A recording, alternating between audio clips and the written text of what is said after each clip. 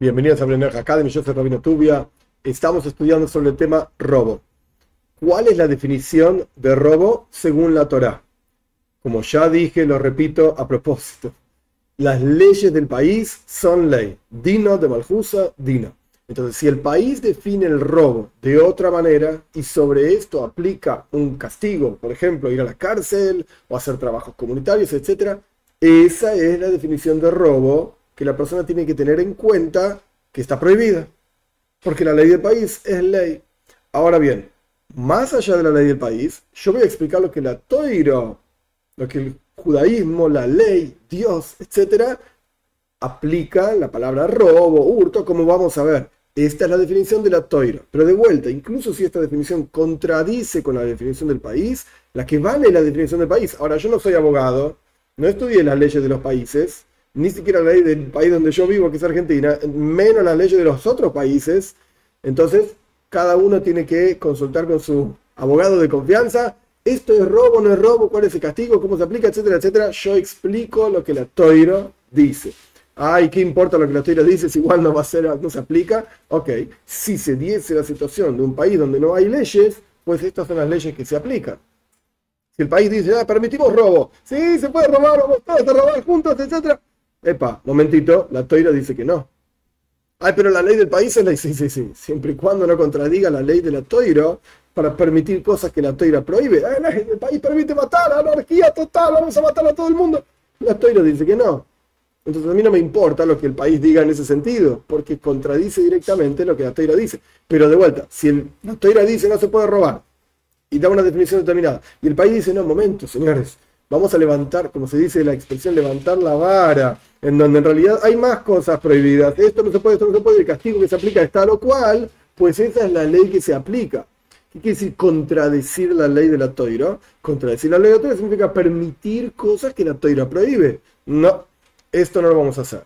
El ejemplo absurdo, totalmente absurdo sería, yo nací en el país Argentina, pero si para ser argentino efectivamente a los 18 años tenés que matar a, yo qué sé, a un chileno de Oliver y Guarde, epa, entonces yo no quiero ser argentino, no me interesa. No, pero la ley del país no solamente te lo permite, sino que la ley del país dice que esto es lo que hay que hacer, es una mitzvah. Sí, pero mi toiro, mi Dios, me dice a mí que está prohibido matar. No importa si es argentino o chileno, está prohibido matar igual. Entonces yo no voy a ser argentino. No me interesa porque para ser argentino hay que matar a un chileno. Yo no lo voy a hacer. Dios libre y guarde.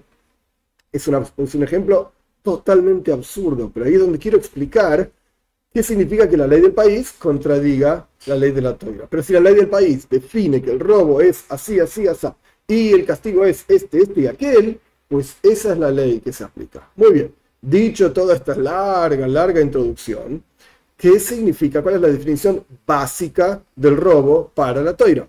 La definición básica es, independientemente si la persona robó a un judío, o la persona le robó a un no judío, o la persona robó la libertad de otro, por ejemplo, secuestro, robó un alma, por llamarlo de alguna manera, o si retuvo el pago de otra persona, por ejemplo, un, trabajador que hizo un trabajo para mí y yo retengo ese pago y no le pago, esto se llama robar ese dinero también. Esta es la definición de robo. Y en general hay dos cuestiones. El robo, propiamente dicho, la palabra robo, se aplica cuando hay una violencia. Cuando hay una falta de voluntad de la otra persona, yo violentamente con un arma o algo por el estilo, me quedo con las propiedades o las cuestiones que le pertenecen a otra persona. Esta es la definición de robo. Por el otro lado existe hurto. El hurto significa que yo me quedo con algo que le pertenece a otra persona, pero sin que esa persona se dé cuenta. Por ejemplo, el que le mete el bolsillo, eh, la mano en el bolsillo a otra persona y se queda con su billetera, o en la cartera de la dama en el colectivo y se queda con sus cosas. Eso se llama un hurto. Ambas cuestiones están totalmente prohibidas. Para el pueblo de Israel, estas son dos prohibiciones diferentes. Robo se llama gzeila, hurto se llama gneiva. De vuelta, son dos prohibiciones con sus definiciones, detalles que ahora realmente no importan. Pero para Bnei Noyag entra todo dentro de la categoría del concepto robo. Ambas están prohibidas y en ambos casos hay pena de muerte. Por supuesto, hay muchísimos más detalles y mediante continuaremos estudiando en las subsiguientes clases.